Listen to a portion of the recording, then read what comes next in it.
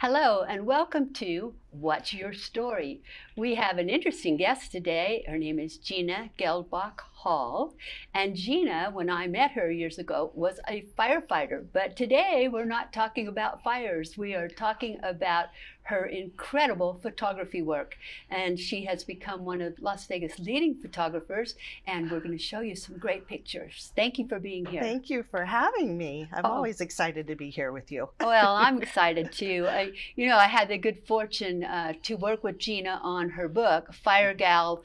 Um, what was the Rising subtitle? from- Rising from the Ashes. Fire Yeah. Gal, Gal Rising from the Ashes. Great book. If you ever want to read a fabulous story about firefighters, uh, that was it. I mean, I look at you and you're such a tiny little thing. It's hard for me to believe you were a firefighter, but uh, I was in better shape and thinner back then.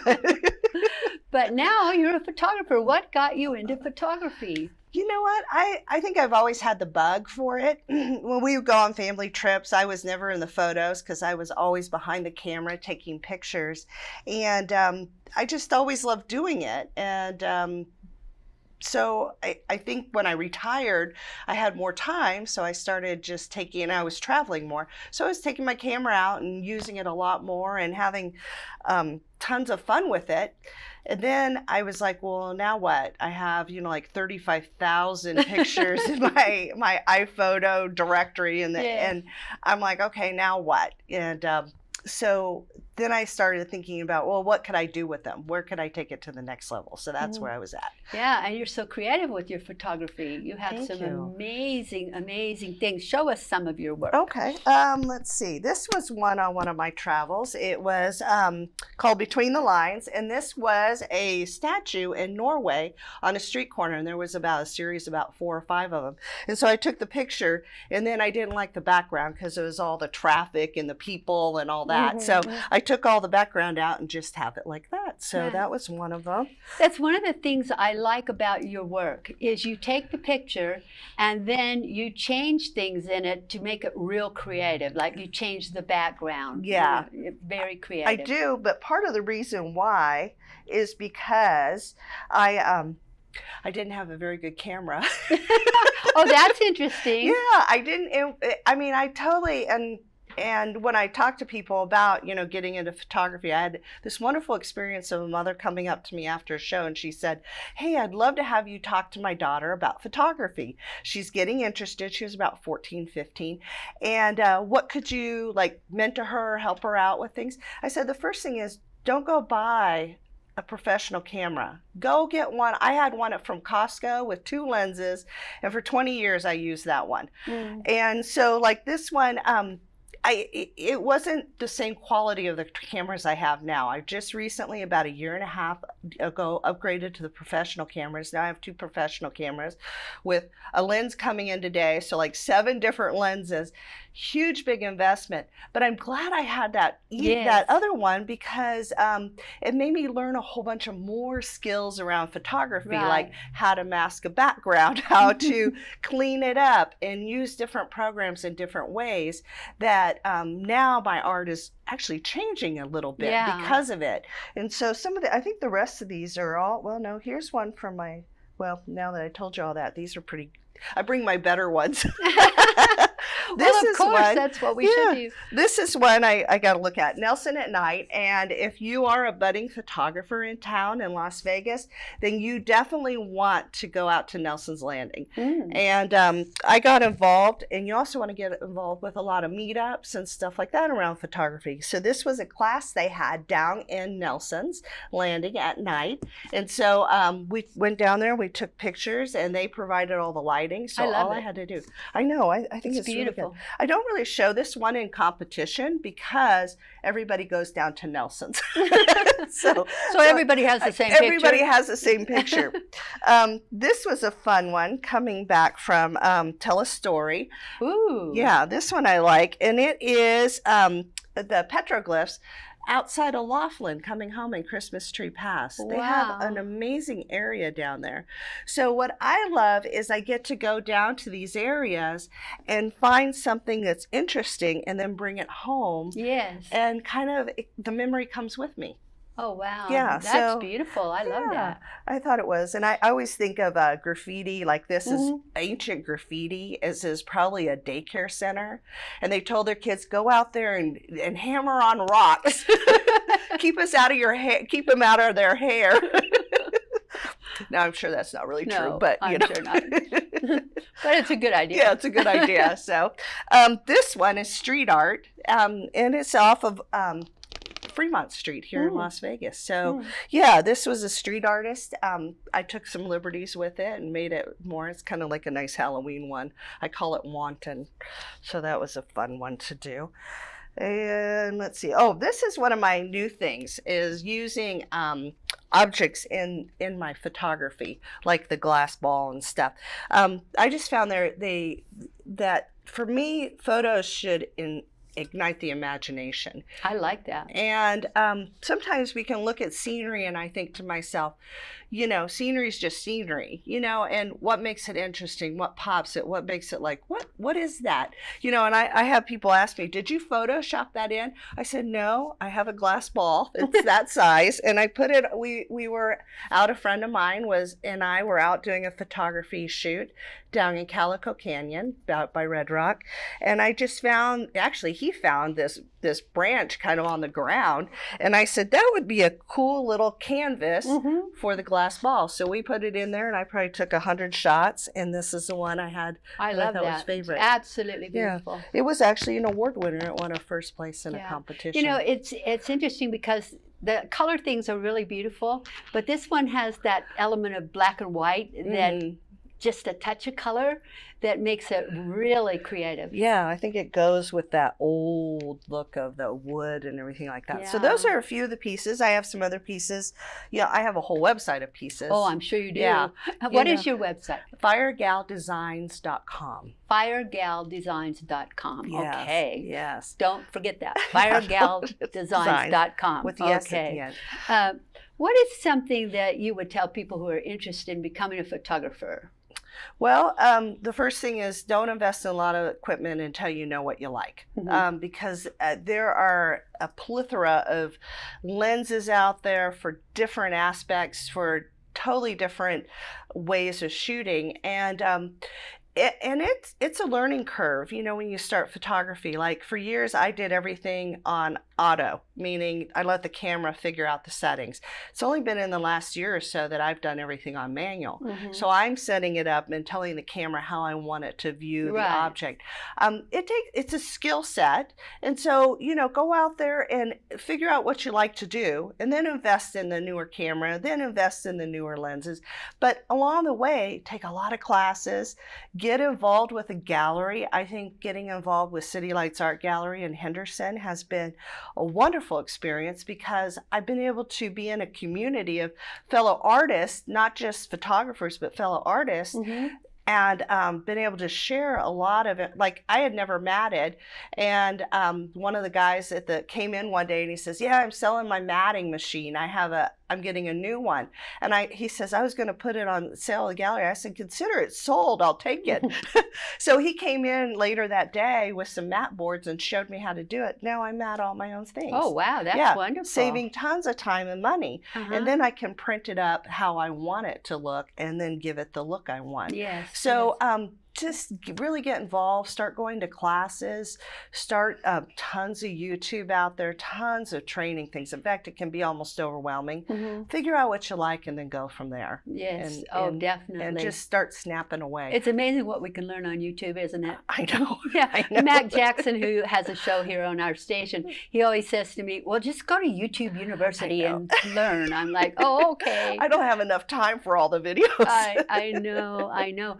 But the nice thing about City Lights is, like you say, the community. the community. There's there's artists of all genres there, and does that influence your photography that you see something in sculpture or in painting or? Um, yes, in a lot of ways of the compositions. And Mhm. I, I would, and I was saying to something to somebody the other day. We went through a class and they talked about composition.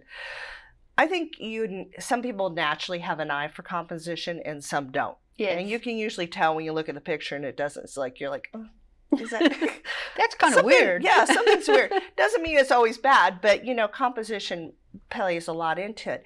And I, I I feel like I've got a little bit of a natural eye for composition, but now that I'm really thinking about composition, I'm, you know, looking at things differently. Mm-hmm.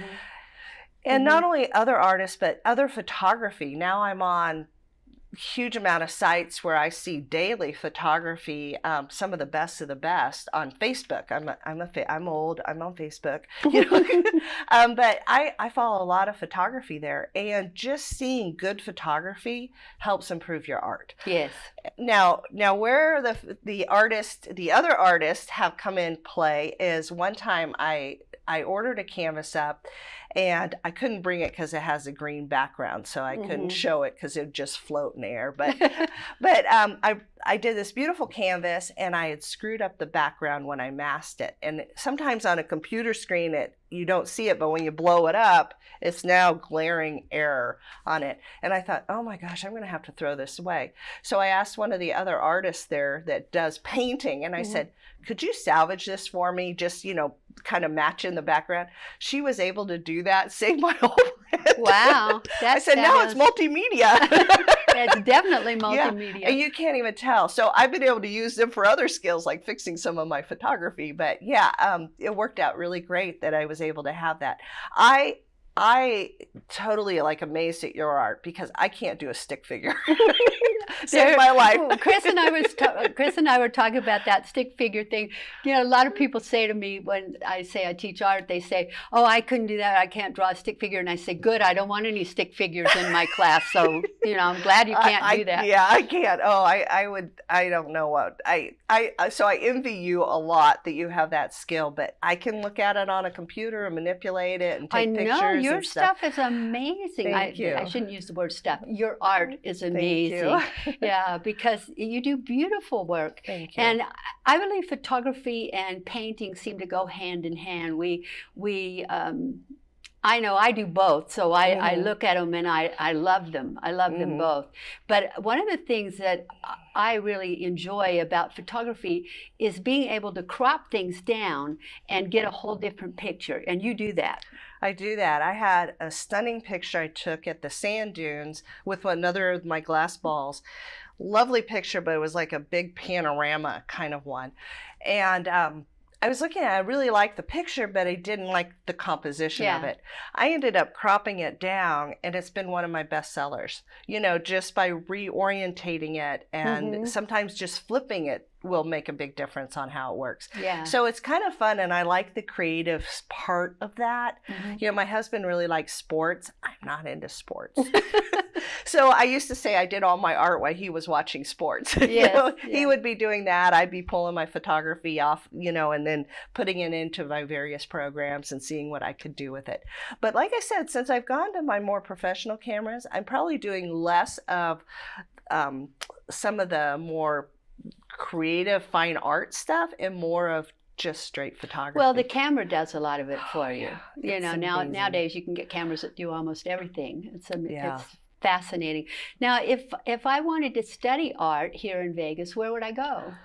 Your backyard. okay, good. I, I, think so. You know, I mean, obviously the places we've already talked about, YouTube, you know, meetups. I mean, you can go to school. I'm not formally trained.